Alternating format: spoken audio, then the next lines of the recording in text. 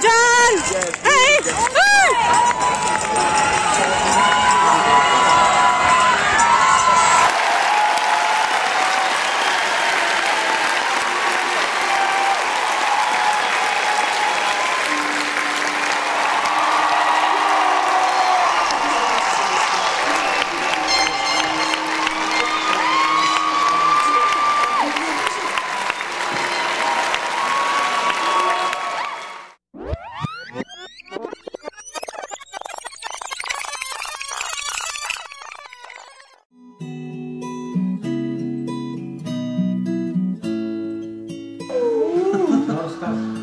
John?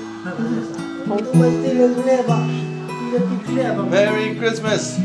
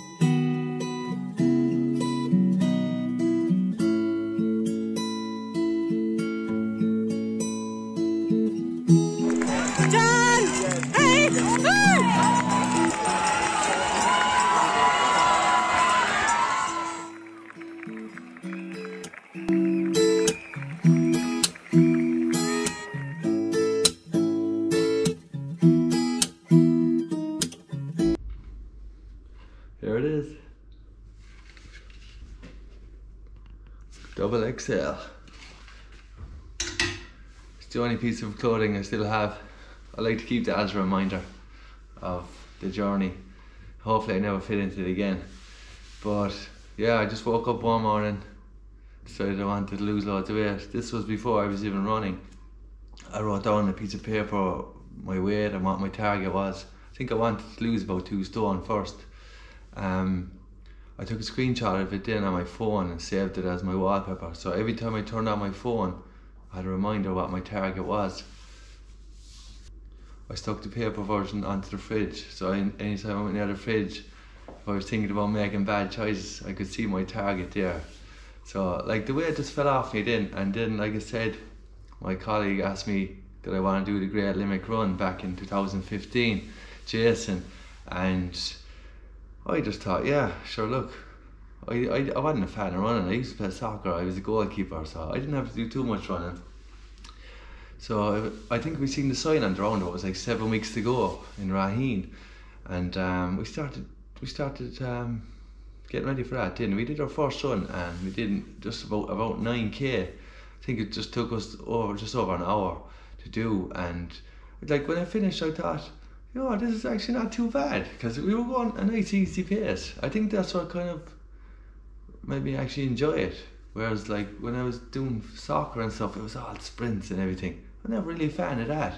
But when I was running easy this time, I just actually enjoyed it. So it went from there, and I just found every week that I was training, I was kind of getting faster.